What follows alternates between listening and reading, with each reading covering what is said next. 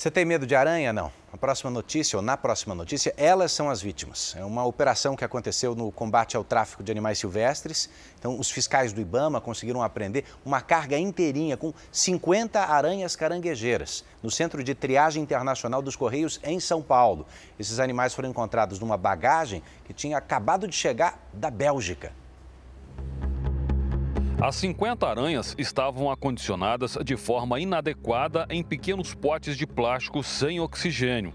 Segundo o Ibama, os animais foram detectados quando a mala em que foram despachados passou por uma máquina de raio-x durante uma operação de combate ao tráfico internacional de animais silvestres.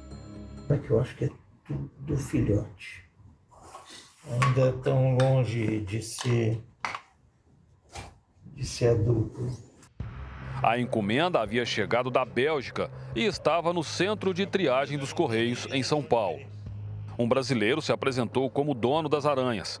Como ele não tinha licença ambiental de importação, foi preso e multado em 12 mil reais.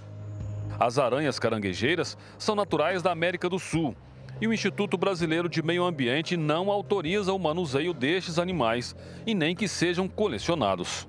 Segundo o Ibama, de janeiro a outubro desse ano foram apreendidas 8 mil espécies silvestres e exóticas em operações realizadas só em São Paulo.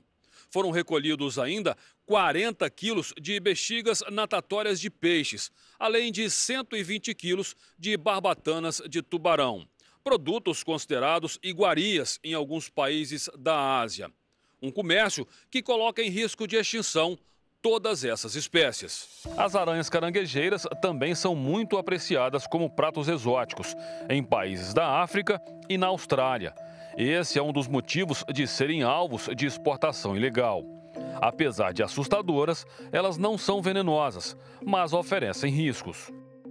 É uma aranha que, se for é, manuseada sem nenhum critério, sem nenhum conhecimento, ela pode se tornar agressiva e a sua picada é muito, mas muito dolorosa.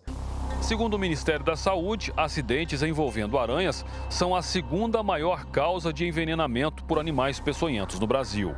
Elas só perdem para os escorpiões. No ano passado, foram registrados mais de 43 mil acidentes envolvendo aranhas, 12% do total.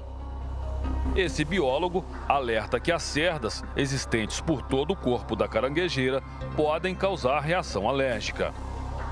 A sua principal característica, ela fricciona o abdômen e libera pelos urticantes para afastar um possível predador. E ela também tem um par de quelíceras poderosas, que é como se fossem ferrões, que ela introduz na vítima para prender a vítima e ela poder se alimentar. As aranhas caranguejeiras apreendidas em São Paulo foram entregues no Instituto Butantan. Depois de passar por análise, elas devem ser incluídas em projetos de pesquisa científica.